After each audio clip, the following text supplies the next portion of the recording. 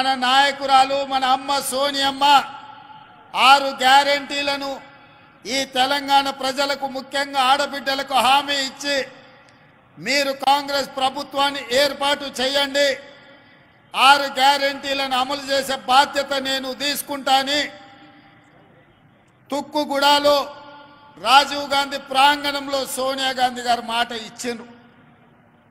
ఆడబిడ్డలందరికీ తెలుసు రెండు వేల నాలుగులో కరీంనగర్ జిల్లాకు వచ్చినప్పుడు శ్రీమతి సోనియా గాంధీ గారు అరవై సంవత్సరాల ఆకాంక్ష వందలాది తెలంగాణ బిడ్డల ఆత్మ బలిదానాలను దృష్టిలో పెట్టుకొని ఆనాడు నాలుగు కోట్ల తెలంగాణ ప్రజలకు మాట ఇవ్వడం జరిగింది.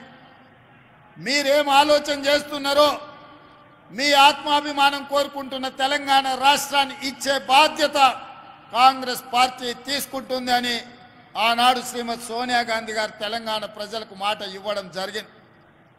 ఆ మాట నిలబెట్టుకోవడం ఎంత కష్టమైందో మీకందరికీ తెలుసు.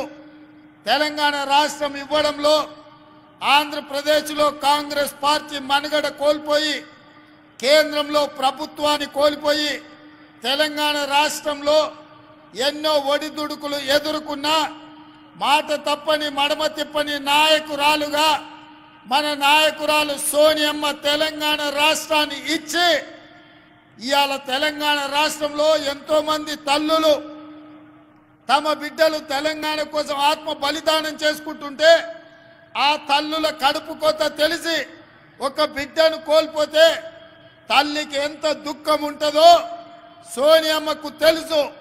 ఎందుకంటే తన కళ్ళ ముందల్నే తన అత్తగారిని ఏకే ఫార్టీ సెవెన్ తుపాకీ తూటాలతోని ముష్కరులు కాల్చి చంపిండ్రు. తన భర్తను తమిళనాడులో ప్రజల మేలు కోసం పర్యటనకు పోతే మానవ బాంబులై రాజీవ్ గాంధీ గారిని బలి తీసుకుంటే కళ్ళ ముందు భర్తను కోల్పోయిన దుఃఖంతో ఇద్దరి చిన్న బిడ్డలను ఒళ్ళో పెట్టుకొని ఈ దేశానికి నాయకత్వం ఇవ్వాలి ఈ దేశంలో ఎవరి కుటుంబం కూడా కుటుంబ సభ్యులను కోల్పోవద్దు ఆ దుఃఖం ఎవరికి ఉండొద్దు అని ఆలోచన చేసింది మన నాయకురాలు సోనియమ్మ. అందుకే తెలంగాణ ఉద్యమంలో పిల్లలు చచ్చిపోతుంటే ఆత్మ బలిదానాలు చేసుకుంటుంటే అధికారం పోయినా పర్వాలేదు. ఆంధ్రప్రదేశ్లో పార్టీ చచ్చిపోయినా పర్వాలేదు. కేంద్రంలో అధికారం కోల్పోయినా పర్వాలేదు. ఇక ఏ తల్లి కూడా దుఃఖంతో తన బిడ్డను కోల్పోవద్దు. నేను తెలంగాణ రాష్ట్రం ఇస్తా అని చెప్పి ఇచ్చిన మాట నిలబెట్టుకొని తెలంగాణ రాష్ట్రాన్ని ఇచ్చిన మహిళ మహిళా శక్తి శ్రీమతి సోనియమ్మ అని చెప్పి నేను ఈ సందర్భంగా తెలియజేస్తున్న మిత్రులారా. ఇవాళ మా అక్కలకు మా చెల్లెళ్ళకు మా పెద్దమ్మలకు మా అమ్మలకు నేను గుర్తు చేయదలుచుకున్నా. కాంగ్రెస్ పార్టీ అంటే ఇందిరమ్మ కాంగ్రెస్ పార్టీ అంటే సోనియమ్మ. కాంగ్రెస్ పార్టీ అంటే ప్రియాంక గాంధీ. మరి ఇవాళ కాంగ్రెస్ పార్టీని నడుపుతున్నదే మహిళా శక్తి. మన నాయకురాళ్ళు ఒక మహిళా నాయకత్వంలో మేము పని చేస్తున్నాము అంటే మేము గర్వంగా గొప్పగా చెప్పుకుంటున్నాం. మా నాయకురాలు సోనియా గాంధీ అని. అందుకే వచ్చిన తెలంగాణ రాష్ట్రంలో పది సంవత్సరాలు ఏ ఆడబిడ్డను పట్టించుకోలే ఏ ఆడబిడ్డను కలవలే ఈ ఆనాటి ముఖ్యమంత్రి ఆడబిడ్డలు ఎట్లున్నారని అడగలే. మహాలక్ష్మి గ్రూపుల పరిస్థితి చూడలే. మీకు పావుల వడ్డీ ఇయ్యలేదు. సున్నాకు వడ్డీ గురించి మాట్లాడలేదు. మీ సంఘాలను దివాలా దీపించి మీ ఉసురు తలిగింది కాబట్టే ఇవాళ ఉద్యోగం ఊడిపోయి ఫామ్ హౌస్లో వండుకున్నాడు. వెనకటికి మన పెద్దలు చెప్పిండ్రు ఆడబిడ్డ కన్నీరు పెట్టద్దు. ఏ ఇంట్లో ఆడబిడ్డ కన్నీళ్ళు పెట్టదో ఆ కన్నీళ్ళు ఊరికే పోవు తప్పకుండా బలి తీసుకుంటాయని అందుకే తెలంగాణలో ఉన్న ఆడబిడ్డలు పది సంవత్సరాలు కష్టాలలో కన్నీళ్ళలో కేసీఆర్ కనికరం లేక సంఘాలను దివాలా దీపిస్తే ఆడబిడ్డలందరూ కంకణం కట్టుకొని కేసీఆర్ను బండకేసి కొట్టినరు వంద మీటర్ల గోతి తీసి పాతి పెట్టిండ్రు. అందుకే ఇవాళ ఈ వేదిక మీద ఇందిరమ్మ రాజ్యం కాంగ్రెస్ ప్రభుత్వం వచ్చింది.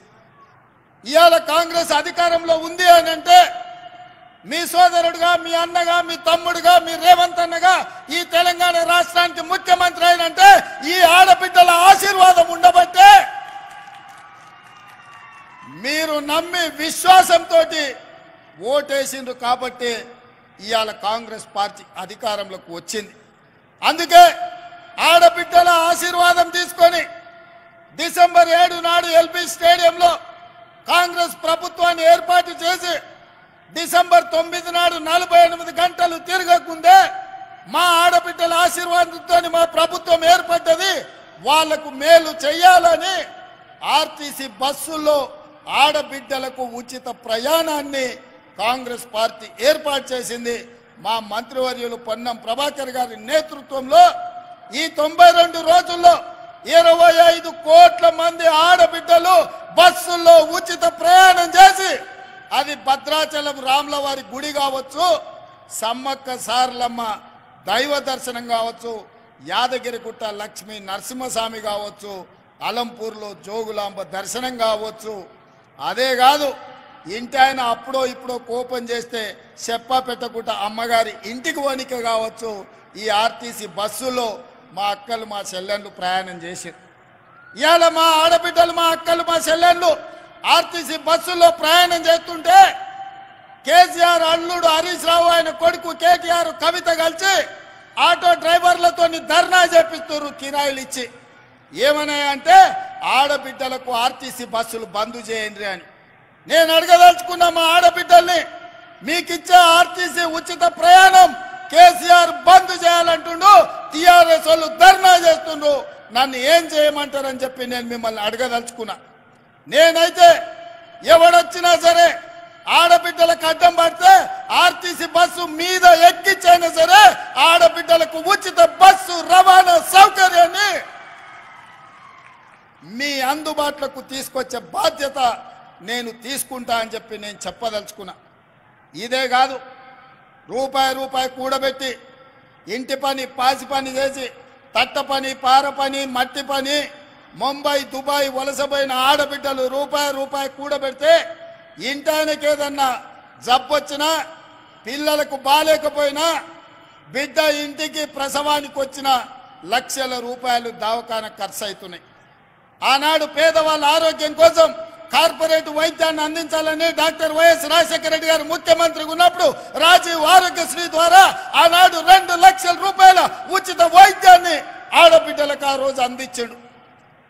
కానీ ఘనత వహించిన చంద్రశేఖరరావు వచ్చి రాజీవ్ ఆరోగ్యశ్రీని మొత్తం ఎక్కడ కాకుండా చేసింది అందుకే ఇందిరమ్మ రాజ్యం వచ్చిన కాంగ్రెస్ ప్రభుత్వం ఏర్పడిన మరి క్షణం పెద్దలు దామోదర్ రాజ నరసింహ గారితో మాట్లాడి పేదవాళ్ళ వైద్యం కోసం అపోలో యశోద ఎక్కడికి పోయినా పది లక్షల రూపాయలతోని మీకు వైద్యం అందించాలని ఇవాళ కాంగ్రెస్ పార్టీ నిర్ణయం తీసుకొని ప్రతి పేదవాడి ఆరోగ్యానికి మాది భరోసా అని చెప్పి కాంగ్రెస్ పార్టీ ఇవాళ రాజీవ్ ఆరోగ్యశ్రీ పథకాన్ని అమలు చేస్తుంది.